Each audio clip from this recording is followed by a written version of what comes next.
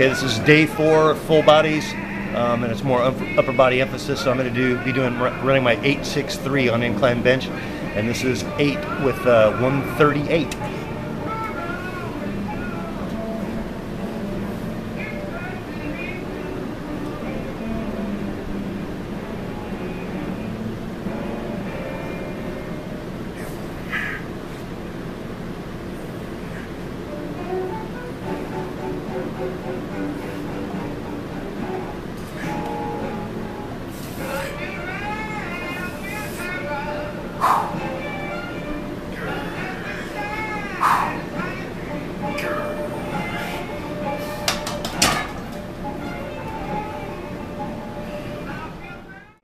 I'm going to be supersetting those with more assisted pull-ups, hammer grip this time.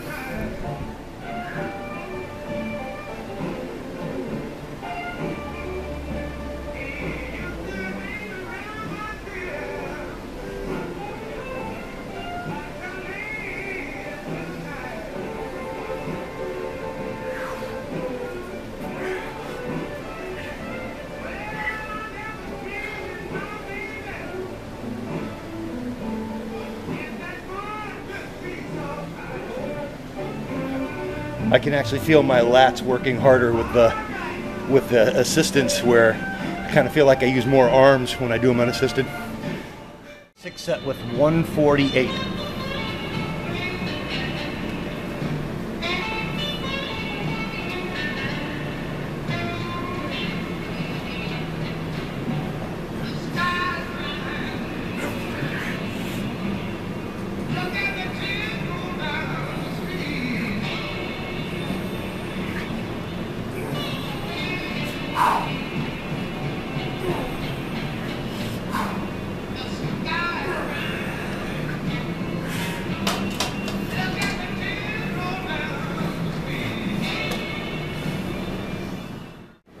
Around I'm shooting for three at 163. Nice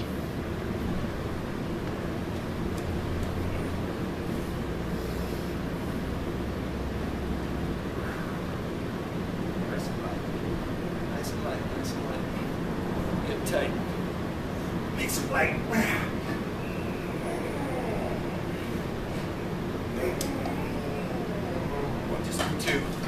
That one was a little too slow for me to try one. It's okay. We'll stay there next week again. Okay, for legs today, I'm going to be doing sled. I'm going to be walking backwards. That's almost like doing a leg extension, so that'll be for my quads. And then I'm going to do my donkey kicks for my hamstrings.